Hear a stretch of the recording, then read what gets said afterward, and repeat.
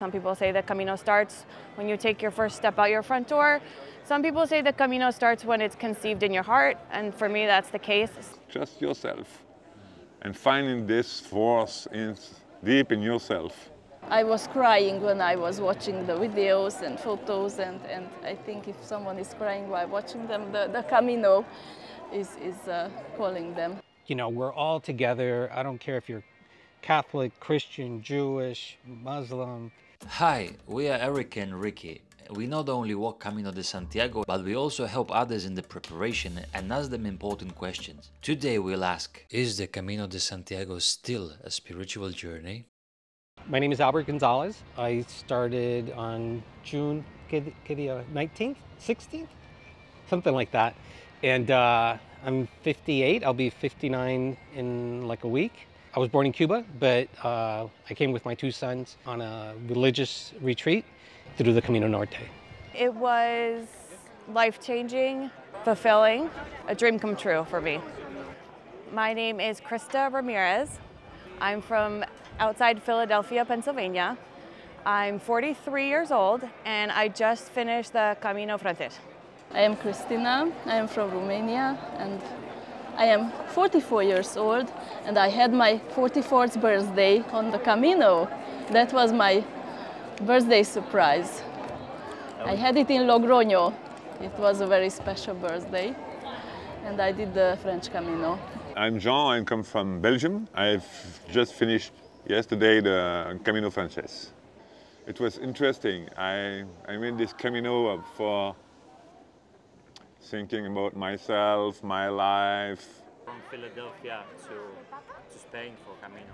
Oh, it's a really long story, but it started with a blog that I read in 2008 of a woman also from America who has blindness. Her name is Lucy. And I found her blog and I read it, and I, it was one of those things in Spanish, corazonada.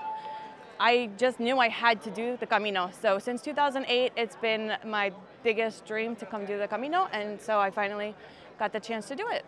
When I was little, I, uh, I went to an all-boys Catholic school, and one of the one of the brothers there, we were going over the Canterbury Tales, and one of the brothers had mentioned that he'd done the Camino, and uh, how it changed him. And I thought, you know, I want to be a good Catholic, but I don't think I'm ever going to do the Camino.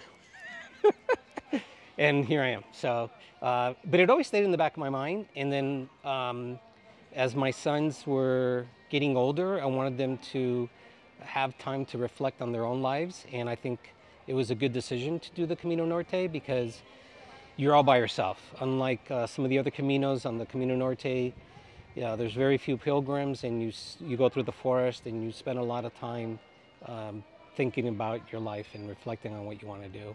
Uh, last year, when I was celebrating my 43rd Camino, my husband asked me, what is your birthday wish? And I said, my birthday wish is to have my next birthday somewhere on the Camino. And God has given it to me.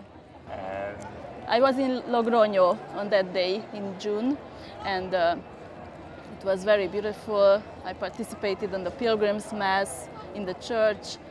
I was surrounded with good friends, which I had made on the Camino, so it was very special. I understand that Camino for you is a spiritual journey. Uh, also, Also? yes, a spiritual journey too, and walking in nature with some religious religious aspects as well. With all that, I'm not Catholic, but uh, I would recommend this pilgrimage to all people, all religions, or even for people who are not religious.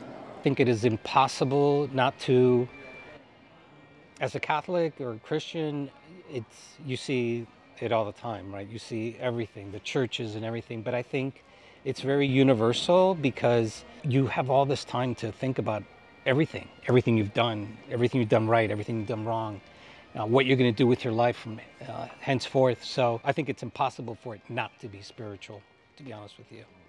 So I could say I found out about Camino when I was in a very kind of low place in my life. Some people will say the Camino starts when you get home. Some people say the Camino starts when you take your first step out your front door. Some people say the Camino starts when it's conceived in your heart, and for me that's the case. So um, I've had a lot of a spiritual journey up until even before starting Camino de Santiago, including uh, converting to Catholicism in 20, 2011. So for me, I know people say faith and spirituality are different, but I think they're actually very holistic.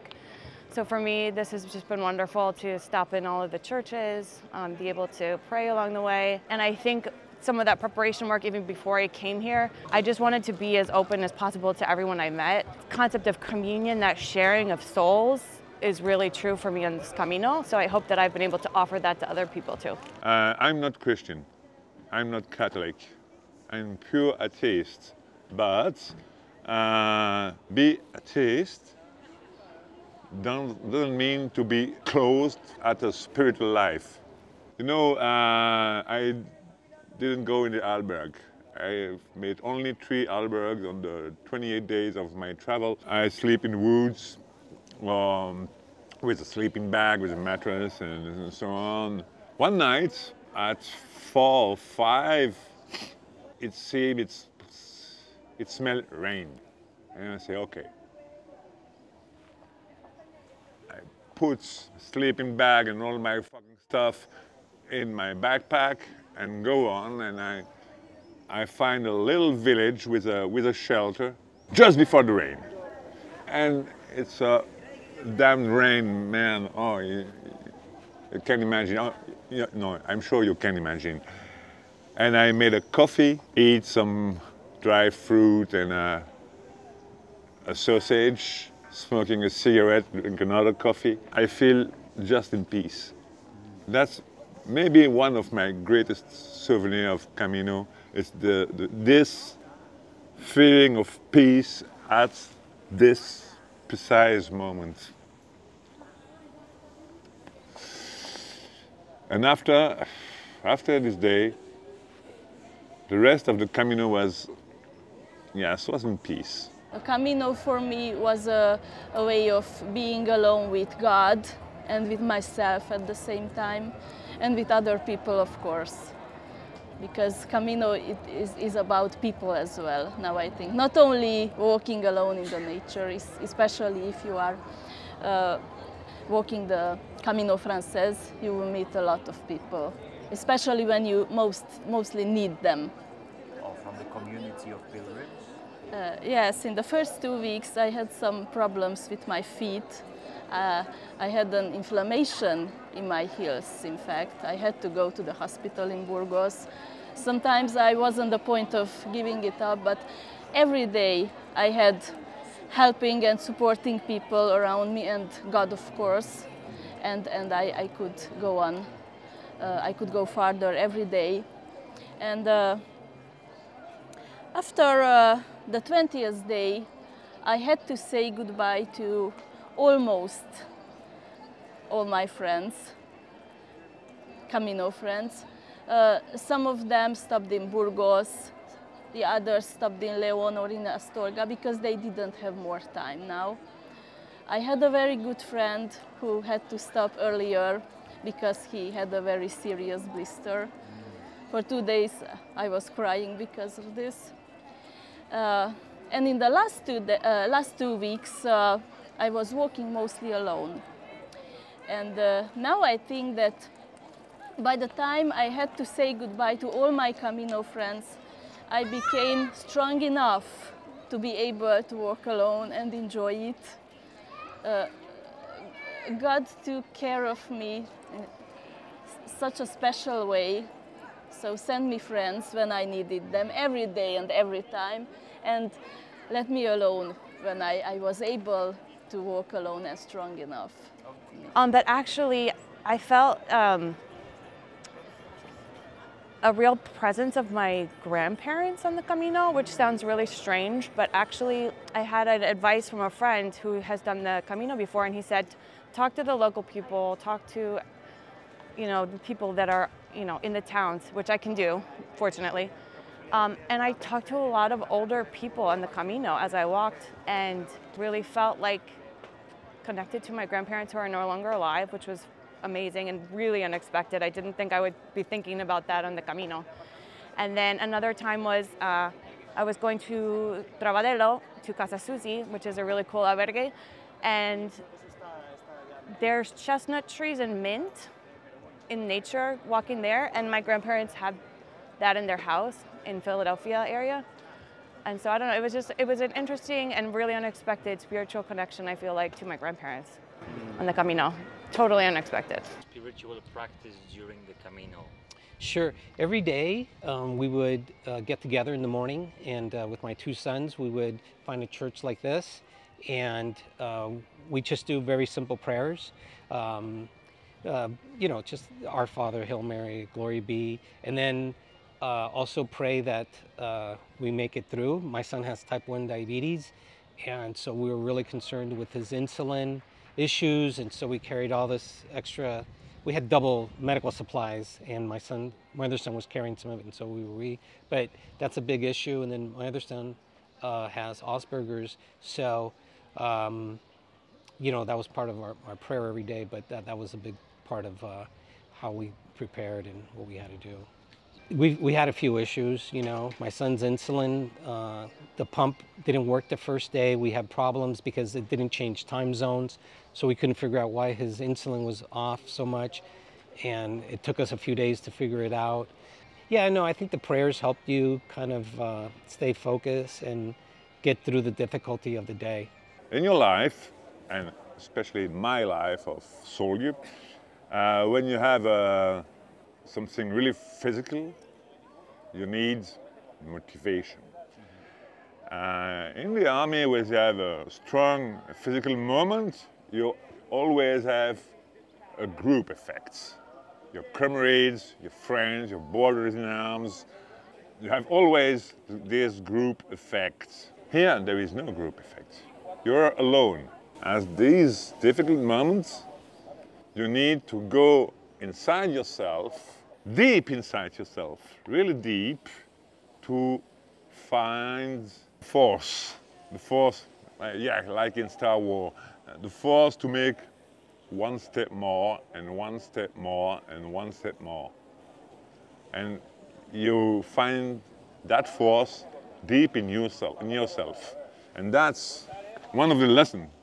There is no real motivation for a, an atheist. Uh, no sins, no, no God, no something like that. Okay, I go, go to, to Santiago. No, it's just yourself.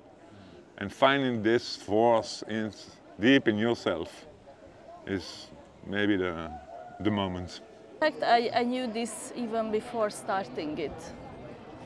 I, I was so, uh, I don't know how to explain, I was so mad about it in the past two years that the, the Camino was calling me, I think. I was crying when I was watching the videos and photos, and there were hard moments. Uh, whenever I had the occasion, I went to the Pilgrim's Mass. I got the blessing. It meant a lot to me. And uh, especially in albergues where there were volunteers working, they were so nice and helping, helpful and uh, giving us a, a, glass of water. And even, even in, in these uh, 10 days when, when I, I had horrible pains, uh, whenever I, I, slept at a good albergue with uh, volunteers, I became stronger. And on the following day, I, I felt strong again and, and, and could walk on you know, the, the way I can describe it the most is the oneness that we all are. You know, we're all together. I don't care if you're Catholic, Christian, Jewish, Muslim, German, Gallego, whatever, Cuba, you realize that we are all one. Hearing those inspiring stories, you might be feeling motivated to start your Camino journey. Before you embark, consider joining us on a special retreat designed to prepare you both physically and mentally. Our retreat offers personal guidance, expert advice, and a supportive community to ensure you're ready for adventure ahead. Sign up to secure your spot and start your Camino with confidence. Click the link below to learn more and register for our pre-Camino retreat. Don't miss this opportunity to make your Camino experience truly unforgettable.